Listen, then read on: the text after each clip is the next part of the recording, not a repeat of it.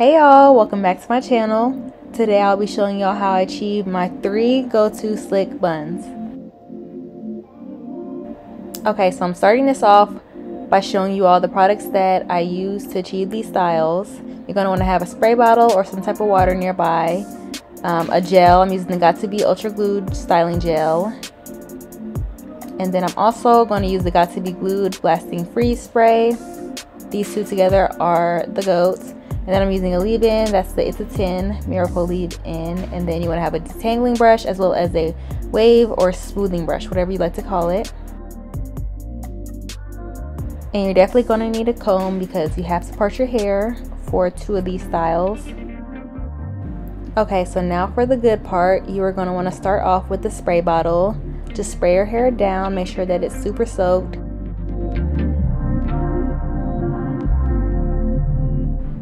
Now I'm using the detangling brush to just smooth out everything. Make sure that I don't have any knots or tangles in there. And I'm just prepping for the actual styling part.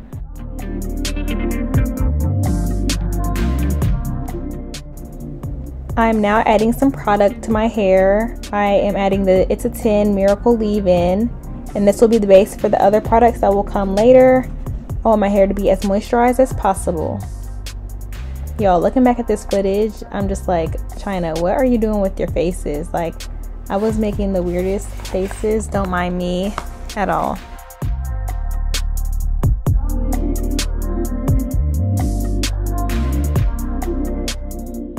If y'all see me brushing my hair out or combing my hair out a lot, it's because my hair curls up so fast and I like my hair in the front to be so smooth, like super smooth. So if I don't make sure that I'm getting out all the curls now, then later on when I add the gel and all the other products, then my hair is gonna start waving up instead of being smooth. So that's why. Okay, so here is one out of the two products that is gonna have my hair intact all day. It's the Got2b Ultra Glued Styling Gel, and I'm just putting this into the areas that I'm gonna slick back into the bun. Before I found this gel, y'all, I was using Eco Styler. That gel did nothing for me. I would slick my hair back with the Eco Styler gel, and within the next hour or so, my hair was already frizzing up and just was messed up. Like my edges would not stay, nothing would stay with that gel. So, this gel is perfect. As you can see, I do not play about the smoothness of my hair when it comes to these buns. I'm going back and forth between the smoothing brush and the that brush right there, the black brush.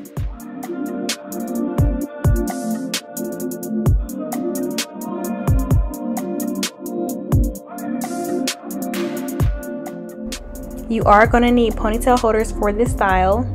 Before I put it into the ponytail that I'm going to do, I have to make sure that everything looks good and that everything is sleek enough for my liking but it wasn't so I had to go back in with the detangling brush and kind of smooth it a little bit and then I used the smoothing brush to just lay that flat. So once it was smooth to my liking I just started to put it into a ponytail and I like to do my bun in two steps instead of just going straight into the bun because I noticed that when I try to do it all in one step the hair that I've already sleeked down starts to move and mess up and it just basically ruins what I've already worked hard to you know smooth down. So that's why I do it in two steps. Now that I have the ponytail in place I go in with the Got2b freeze spray and this really locks everything in. Like I'm not playing. This spray is gonna have your hair together. The combination of the gel and that freeze spray man let me tell you. Like I could wear this bun for days if I wanted to. All I would have to do is just go in, do a little bit of touch-ups, and I would be on my way. Nothing major, just effortless, get up out the bed and go. So now we've reached the bun part. So what I just do is twist the ponytail, twist it, twist it, twist it, and then I kind of wrap it around the hair. Y'all, I'm not good at explaining this type of stuff, but y'all can clearly see what I did and it was just that simple. It was kind of like a play on the ballerina bun, but yeah it's kind of like a little donut bun and if I notice that any part is sticking out and I'm not liking a certain portion I just go in with a hairpin and push it into the part that's sticking out. This part is a must for me. Like I have to always go back in and do the finishing touches, which is just spraying free spray on my edge brush that is solely used for my edges or just sleeking down any small portions of my hair. So now we move on to the baby hairs and I like to start off by brushing them away from the hair that was already smoothed back so it just makes it easier for me to go in and swoop them without messing with anything else. I just start off with the middle baby hairs first and I just swoop it to the side. I wish that I could just push them to the back, but I cannot, unfortunately, since they are my actual baby hairs. I always have to do them because if not, then it just looks a mess. Before I do my baby hairs, I do actually go in and wet my brush and then I spray it with the Got2b spray and this just makes them last so much longer.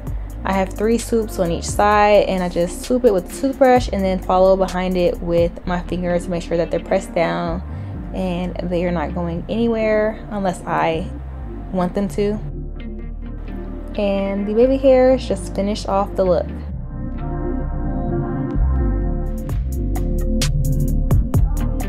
Okay, this is the final bun look. This is pretty much the easiest out of all three of them and um, kind of like the beginner bun. I guess you can call it that. Um, the next two take a little bit more effort um, and a little bit more time. So we're just to jump into it. Okay, so this is the middle part bun. I'm just going in with the comb and getting the part that I want.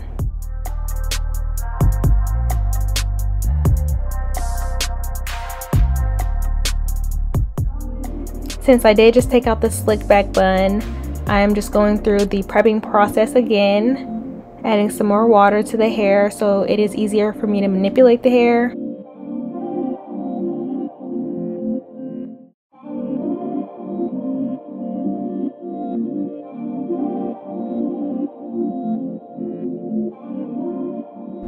Once I have gotten it detangled, I'm going through and getting my hair positioned to where I want it to go for this bun.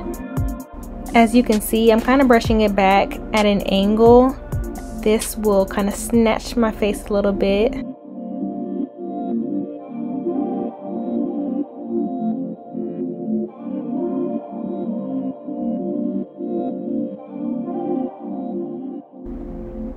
I'm adding some more of that Got2b gel into my hair and I don't have to add too much since I used the spray bottle to reactivate the gel from the first bun. I think by now y'all can tell how important it is to go back in between the brush, the comb, the smoothing brush. It's really important because those will help with getting out the tangles, just making sure everything is flat and nice. You see I'm going through with the comb in the back because that is the part that really limps up for me.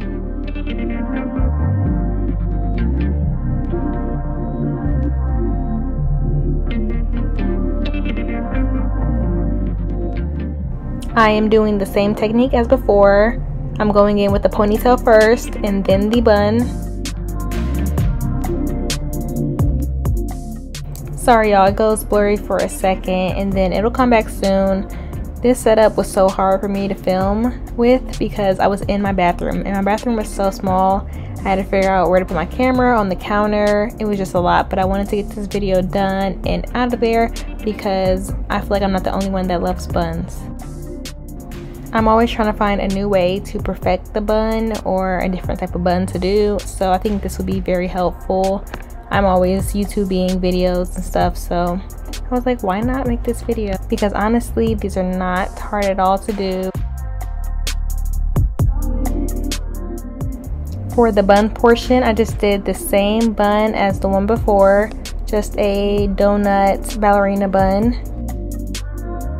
And then I just feel for any pieces that are out of whack and I want to get it together back there. So I just put a hairpin in there to get it to stick. And I'm just showing you how it looks from the side.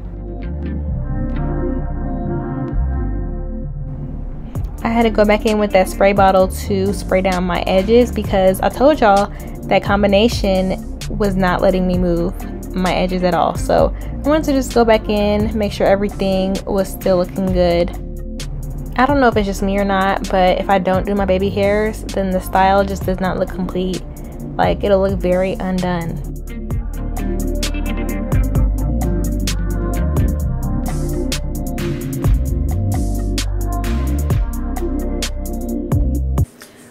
So this is the second bun. Like I said, it's um, like a step up above the, you know, the traditional slick back, straight back bun.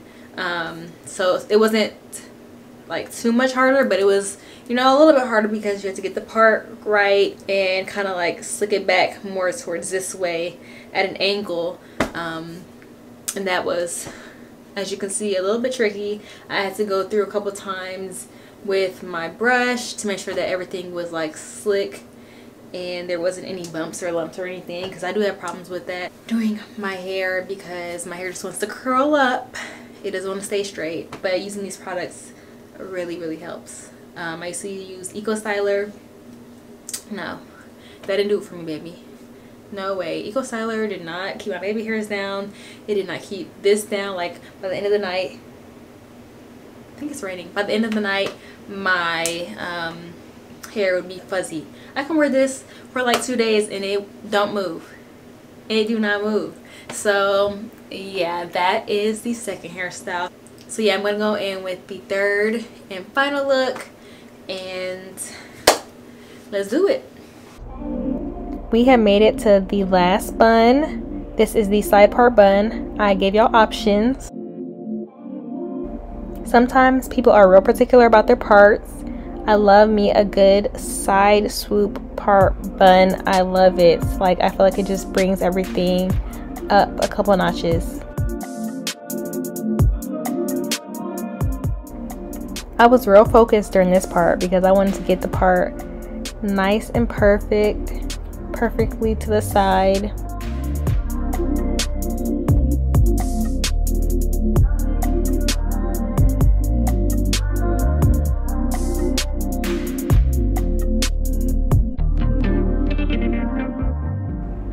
It took me a little longer to get that part right, but I finally got it and now I'm just going through the prepping process again, just detangling, all that good stuff.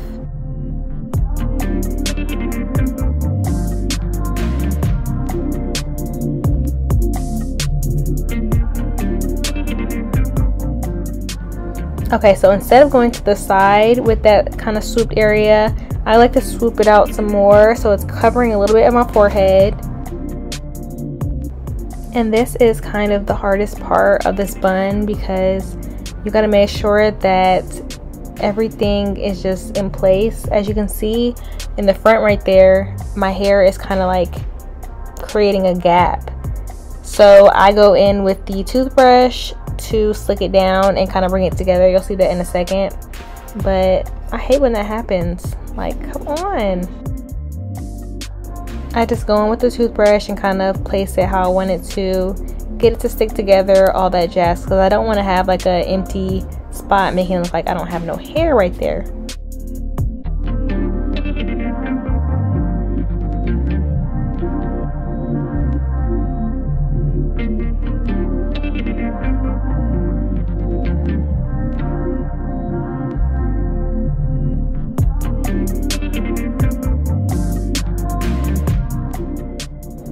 I am using the Got2b spray and I am going in with the edge brush just to get those flyaways.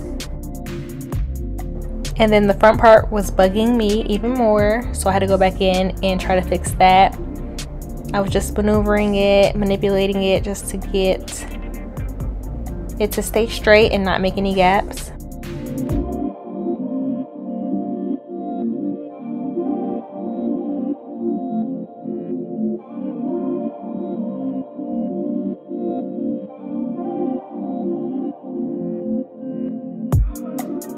Okay, so now I'm just showing you what it looks like before I go into the bun. I would even stop right here. Like, that was super cute. But I am going in with the bun. This is a different bun than the last two. It's more of a messy, effortless type of bun. It is easy and effortless, but it's still super cute. My baby hairs got a little messed up during this process, so I'm just going back in and perfecting it some more. Y'all, and shout out to the people that have mastered this voiceover stuff because this was not easy. Like, it was super nerve wracking, but we got it done. This is the final bun. Y'all, this took me too long. Like, come on now. I started off trying to do a different technique where I kind of separated this swoop part um, into its own section and um, put the back part in a ponytail first and then swooped this over that just did too much. So I took it all out and I just did it all together and that made it so much easier. And I like this. Like I think this is cute.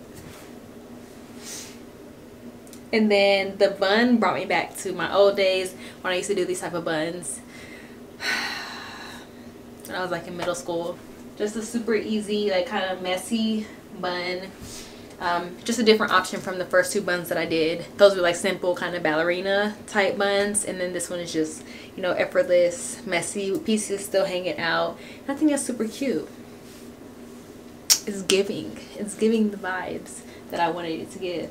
Um, so, so this is it. I showed y'all three different buns, slick back, slick buns, whatever you want to call it. Um, just to give you more versatility on, you know, effortless. I don't want to say effortless but on days when you don't want your hair down or you know just something simple to me. A bun with some edges some baby hairs. Sorry not edges because these are my baby hairs. I literally have baby hairs. These are my edges. Just something simple. I like to throw on a bun when I don't feel like doing a wash and go and messing and fooling around with my hair when I don't want it down. And it's just super simple and I love the way this looks like especially with the hoops like super cute. I hope you guys enjoy this video and i hope you choose to recreate these styles. Um, don't forget to like comment. Please comment. I love when people comment. I'm sorry i have been so bad at commenting back to people but i'm going to do better. I promise you i will. Um, but i do see everyone's comments and I love getting comments like I love it so much. Just lets me know that you are here and you are watching or I don't know. You can really say whatever you want in the comments. I don't care. Um, but just don't forget to like, comment, and subscribe. I've gotten so many subscribers over the past couple days and I'm so grateful for that. I want to make it to at least 500 soon. I don't know. My first little goal was 300. I made it 300 and let me first start with 400. Let me, you know, baby steps. 400 next um, and then 500. But yeah, so thank you all for watching and I will see y'all in my next video.